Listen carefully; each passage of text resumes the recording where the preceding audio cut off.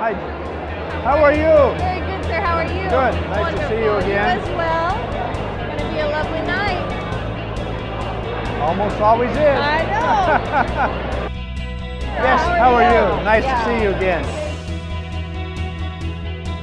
I think she'll bring you back again and again.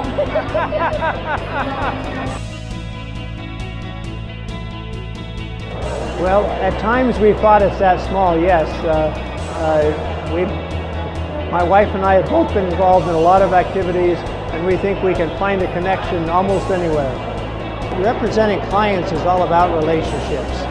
The, the technical work can be done by anybody, but to maintain a long-standing relationship, to become someone who's able to uh, advise and counsel, uh, it requires that you've been there, you've been around, you understand what they're doing, so that they can say, here's a problem, how do we solve it? That takes a, a willingness to participate in your community, to participate in organizations you belong to, uh, whether it's uh, going to church, whether it's a chamber of commerce, whether it's serving on the school board. It's becoming involved with people and being willing to uh, engage with them. Uh, I've known Doug Cushing for 50 years.